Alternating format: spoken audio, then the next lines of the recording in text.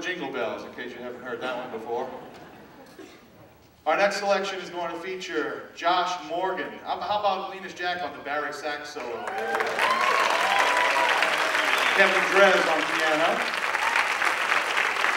This next is going to feature Joshua Morgan and the saxophone section. This is Over the Rainy